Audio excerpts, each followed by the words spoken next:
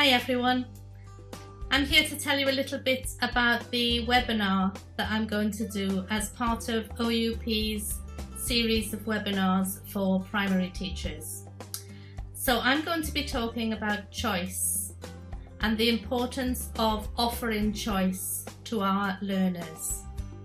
I'll start off by looking at a little bit of theory We'll hear what some of the experts have got to say, child psychologists and education theorists.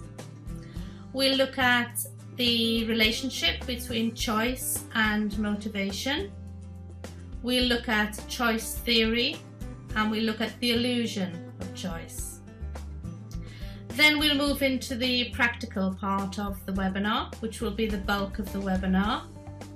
We'll look at when and where it's appropriate to offer choices and when it might be less appropriate and how we should offer those choices and some simple ways of introducing choice and opportunities for choice into every aspect of the learning experience.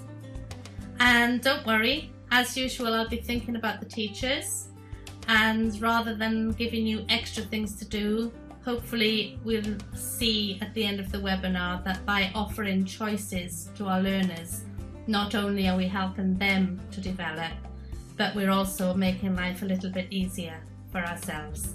So look forward to seeing you there. Bye for now.